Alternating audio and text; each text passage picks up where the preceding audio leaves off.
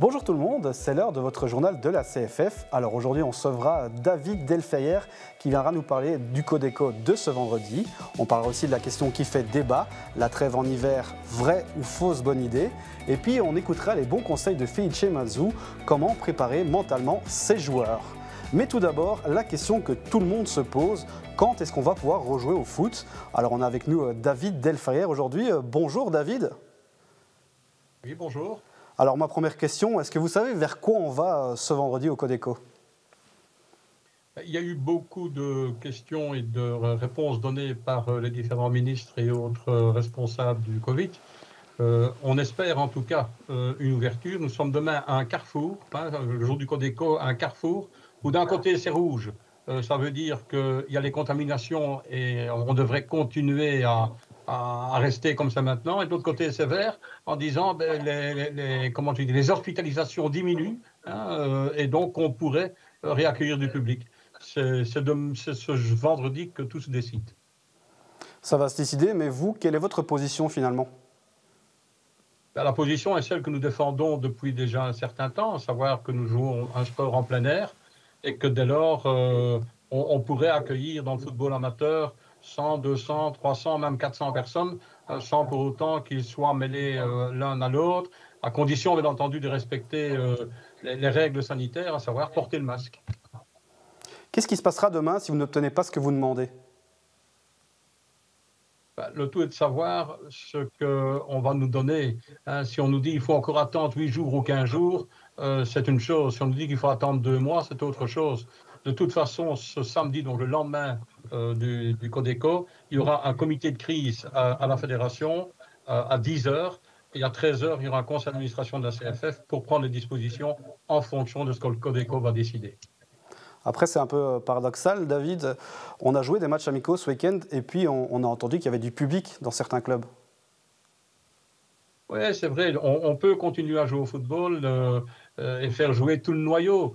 Euh, maintenant, la, loi, c'est la loi. On ne dit pas public. Si maintenant les gens ne respectent pas la loi, c'est comme quand vous roulez à du 70 dans une zone 30, vous ne respectez pas la loi. Si vous êtes pris, ben vous serez verbalisé, vous devrez payer l'amende.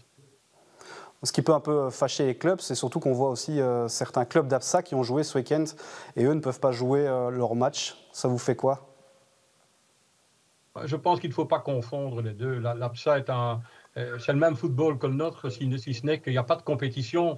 C'est un, sport vraiment amateur, récréatif, où les joueurs ne sont pas payés, il n'y a pas de droit d'entrée. Donc euh, l'APSA, c'est une chose, la fédération avec sa compétition, c'est autre chose.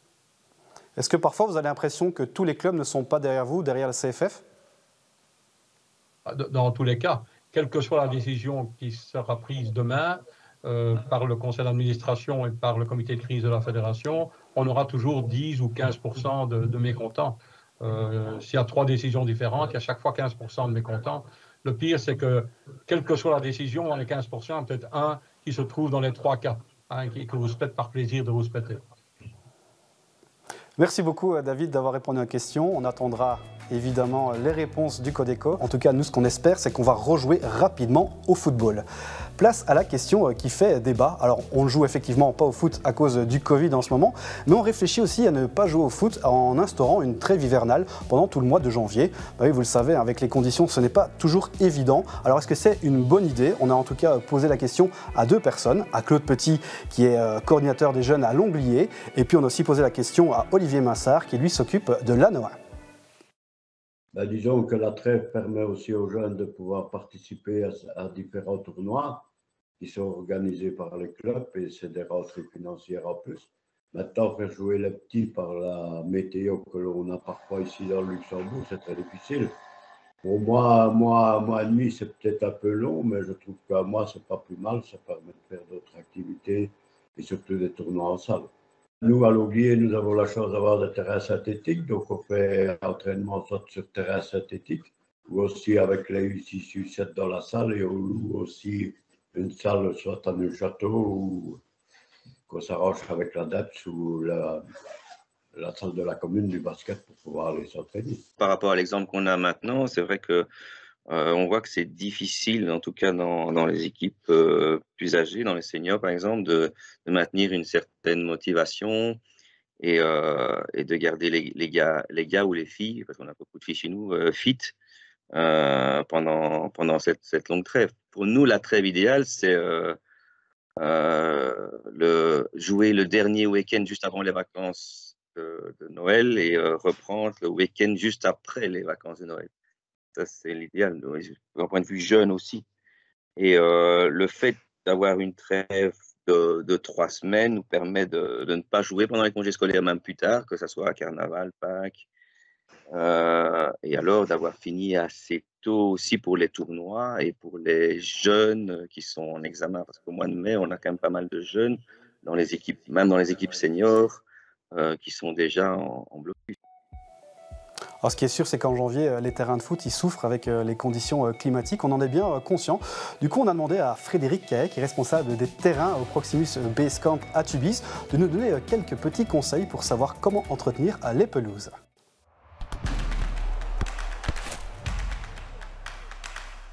généralement, les terrains sont un petit peu les enfants pauvres des clubs. Euh, on va plus euh, investir dans, la buvette, dans les tribunes et des choses comme ça. Or, le, terrain reste pour moi le 12e homme. C'est vraiment euh, l'outil de travail des joueurs de toutes les catégories. il doit être en bon état pour qu'on puisse pratiquer un beau jeu. Et il doit aussi être en état pour ne pas causer de blessures. Donc, à mon sens, on n'investit pas suffisamment en Belgique dans les terrains. Euh, il existe des guides de, bonnes pratiques euh, qui euh, sont déjà accessibles, notamment en province de Liège où il y a des suivis gratuits qui sont proposés par la province. mais je crois que les clubs doivent vraiment se rendre compte que par des bonnes pratiques, on va prolonger la durée de vie de son terrain et on va le rendre plus beau et plus agréable à jouer pour toutes les catégories d'âge. Alors je vais vous donner quelques conseils assez simples.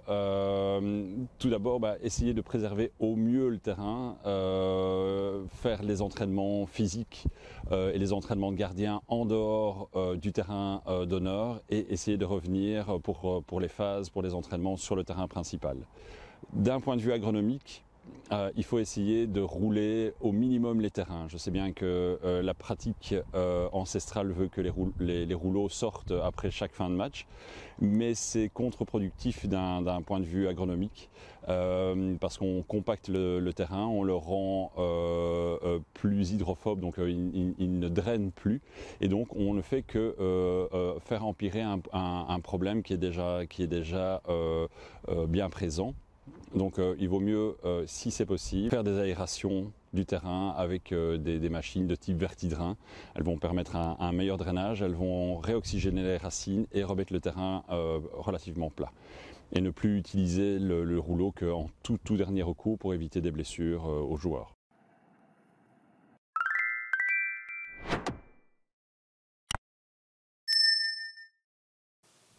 Avoir un bon terrain, c'est vraiment important, mais le mental des joueurs l'est tout autant. Du coup, on a posé la question à Felice Mazou pour savoir comment il fallait travailler le mental de ses joueurs.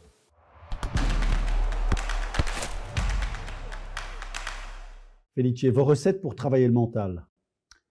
Alors, euh, je ne sais pas si ce sont des recettes. En tout cas, ma méthode, c'est d'essayer de, rentrer dans la tête de chaque individu. Quand je dis euh, rentrer dans la tête de chaque joueur, de chaque individu, c'est de comprendre comment il fonctionne, euh, tout en respectant sa manière de, fonctionner et en essayant de l'adapter dans, le collectif. Vous avez des joueurs, pour qu'ils soient performants, euh, vous devez énormément communiquer avec eux, mais d'une manière très stable et très légère. Il y a des joueurs, pour qu'ils soient performants, vous devez leur montrer une certaine autorité. Et donc, euh, je pense que dans, dans, un collectif, vous ne pouvez pas agir de la même manière avec tout le monde et que vous n'en tirerez pas un maximum de rentabilité si vous agissez de la même manière avec chaque personne. Et donc, l'objectif, c'est de comprendre et de respecter. Un exemple en, dehors du foot, vous aimez vous habiller, vous, monsieur le comte, en bleu, euh, mais moi, je n'aime pas le bleu et je vais vous obliger à vous habiller en rouge. Mais vous ne serez jamais à l'aise par rapport à, à, la manière dont vous vous habillez. Parce que, mais je dois respecter le fait même si je n'aime pas le bleu, que vous vous habillez en bleu. Eh bien, c'est la même chose avec un joueur de foot. Ce joueur-là n'aime pas qu'on lui, fasse des reproches devant le groupe, ça lui fait perdre sa confiance, ça lui fait, s'énerver, ça lui amène de l'énergie négative qui, qui va euh, se projeter dans le groupe. Je pense que ce type de joueur, il faut le canaliser, il faut lui parler en individuel. D'autres joueurs ont besoin d'avoir des remarques ou, ou, de leur rentrer dedans vulgairement euh, devant le groupe. Et donc, l'aspect principal pour moi, c'est d'essayer avant d'émettre un avis, avant de porter un jugement, de connaître le, caractère et le profil de chacun. Voilà, il vous reste plus qu'à travailler le mental d'ici euh, la réouverture euh, des championnats. Place maintenant aux bénévoles. Vous savez, on aime bien mettre en valeur euh, toutes ces personnes autour du terrain. Cette semaine, c'est Karim qu'on a voulu montrer. Alors Karim, il est secrétaire général des équipes d'âge au Sporting Bruxelles, un club qui compte plus de 700 jeunes.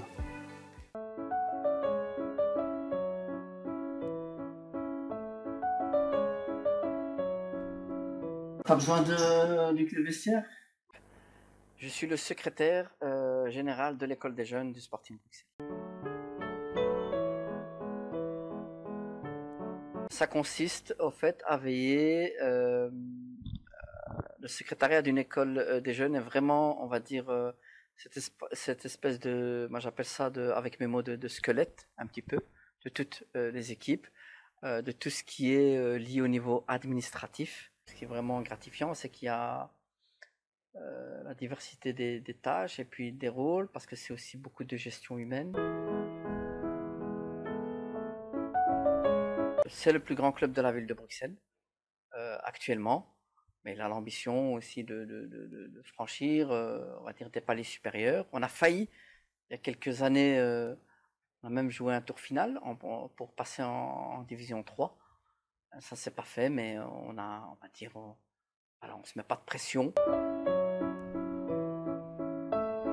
Ici, euh, tout le monde a, sa chance. Vous avez vu, remarqué aussi qu'il y a beaucoup de diversité en tant que, que ce soit des joueurs et que ce soit même des moniteurs.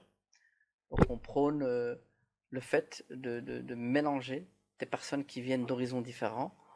Et le club de foot, ça reste pour eux, on va dire, l'endroit que même des fois, bah, ils peuvent discuter d'autres choses, par exemple. Et les gens apprennent à se connaître, et c'est comme ça qu'on casse des murs et qu'on euh, qu'on ouvre des portes. Le bénévole, c'est un sujet que vous pouvez retrouver euh, sur nos différentes euh, plateformes et réseaux sociaux. Place maintenant à l'actualité dans les clubs. Sachez tout d'abord que les détections U10, U11 ont repris. Je vous laisse découvrir dans ce reportage de quoi il s'agit. Donc il y aura deux joueurs contre deux. Ça va? Là, tantôt c'est un contre un, maintenant c'est deux contre deux. Allez.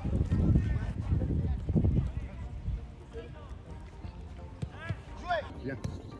Bien aujourd'hui, c'était une détection euh, des enfants de Bruxelles. Euh, nous sommes sur trois sites et ici à Uccle, c'est le site qui, qui repère les, enfants des environs. Donc on a fait un, appel euh, pour les enfants qui veulent se perfectionner. Et ici, on en, on en avait à peu près 100 enfants. Dans les 100 enfants, nous allons repêcher une, petite vingtaine qui, sont, qui sont dans une perspective de progression assez rapide.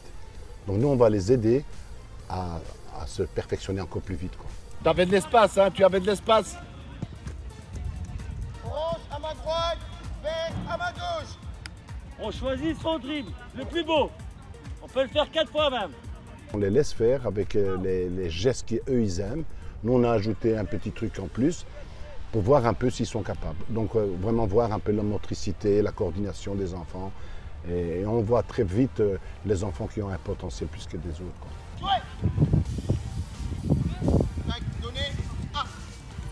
On a commencé avec la conduite de balles, et puis on a fait des 1 contre 1, 2 contre 2. On avait aussi fait des gestes techniques, un peu comme ça. Ça s'est passé comment ici aujourd'hui C'était chouette? Oui, trop, parce que je me, je me fais des nouveaux copains.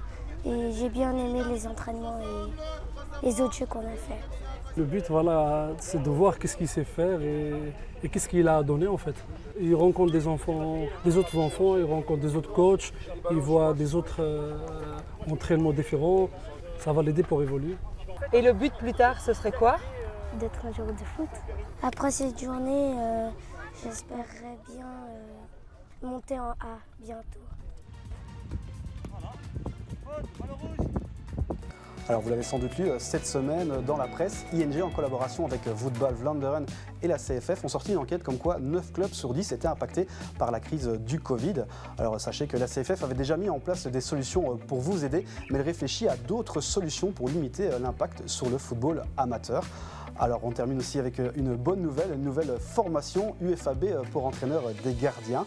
Alors cette formation, elle pourra être suivie à Sclessin, à Longlier et aussi à Uccle. Alors sachez que les inscriptions sont déjà ouvertes.